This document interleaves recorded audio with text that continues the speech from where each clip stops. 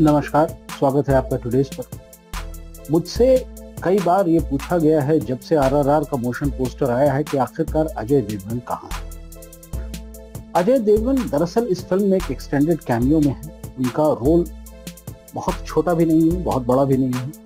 वो इस फ़िल्म में मुख्यतः हैं अपनी जो स्टार्डम है, उसको ट्रांसफ़र करने के लिए। और जहाँ तक सवाल उठता है, उनका इस मोशन पोस्टर में नहीं होने का तो यहाँ पर जो दो मुख्य कलाकार हैं, जो दो मुख्य किरदार हैं कहिए तो उनको इंट्रोड्यूस किया जा रहा है आपके सामने। लेकिन जल्द ही आपको देखने मिलेंगे अजय देवगन। जी हाँ अजय देवगन का अलग से एक कैरेक्टर मोशन पोस्टर बनाया जा रहा है, जिसमें कि उनके कैरेक्टर को सामने लेकर के आया जाएगा, उसका फ़र्स्ट लुक दिया जाएगा। तो जहाँ ये एक जो मोशन पोस्टर था, इसमें एक पोस्टर में दो दो कैरेक्टर्स आपके सामने आए थे।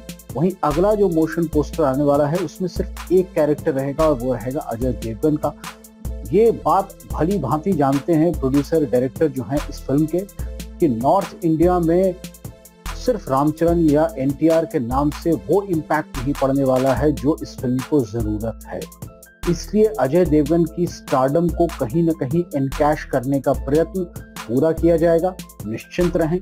आपके अजय देवगन, हमारे अजय देवगन जो हैं, इनको किसी भी तरह से बैकसीट या कम महत्व मिलने का कोई चांस नहीं है। और एक चीज़ का और कोई चांस नहीं है कि मैं आपको जाने दूँ बिना सब्सक्रिप्शन बटन दबाए। तो प्लीज़ दबा दीजिए सब्सक्रिप्शन बटन हमारा भी दिल जो है, वो किरदार हो जाए। धन्यवाद।